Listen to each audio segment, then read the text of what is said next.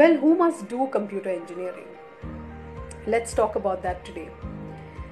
If you have a passion for mathematics and uh, you have done a little bit of coding in your school uh, and you really like doing it and you look forward to building your own game uh, or your own website and you have a you know dire interest to know how a website is being created how does the different apps work then i would say that you are right on track.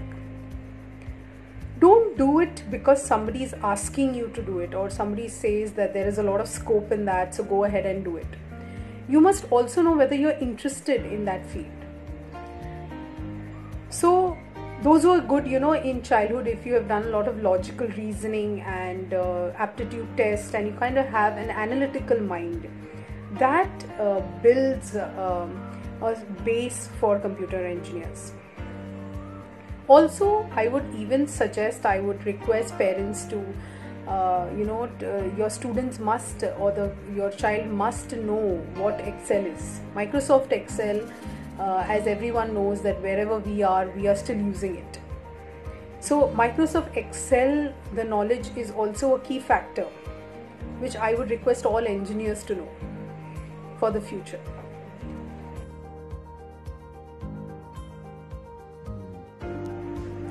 if you look at the world around you then computers networking iot big data sdn are all here to stay that's why there is a pull towards this branch. Everyone wants to uh, do computer engineering. But I don't promise you that you will become an expert or all of you out there who joins the program will be an expert because you need to put in that extra efforts. Maybe during your summer and uh, your winter vacations, you may have to do some extra, uh, you know, uh, building your skills, maybe some certifications as everyone is doing in this quarantine from uh, Coursera, EDX, LinkedIn, uh, you know, Udemy. But uh, I have a question in this that does it really benefit you? When will it benefit you? It will only benefit you when you apply to a particular project so, whenever you're doing these certifications, you must know that unless and until you apply to a particular project, that's why we have projects in the final year. Till then, you have not yet become industry driven or you have not become industry ready engineers.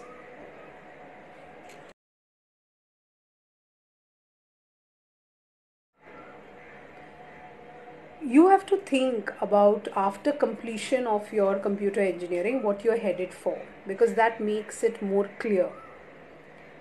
If you are someone who is going to uh, you know go for the placement or you have decided to do your masters or you're going ahead with research so this has to be a little bit clear in the four years.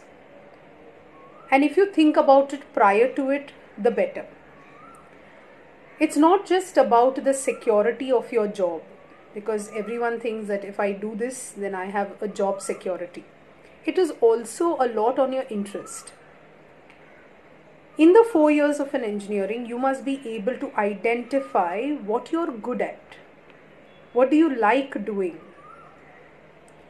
So, if you are going to go for research, for example, then you identify what's your core branch just like medical students decide what they're good at and then go and pursue they want to do an md in it.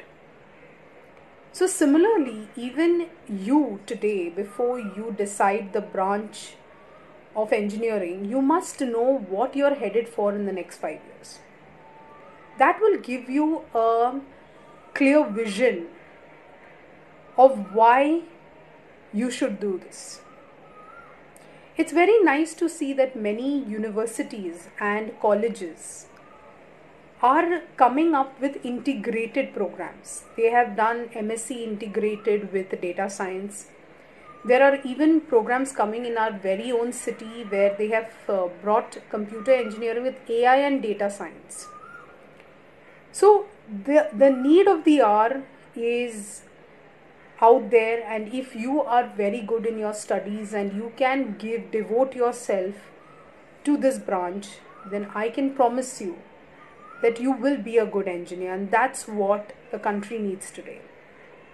So I hope that uh, I have been able to give you a sneak peek into uh, computer engineering.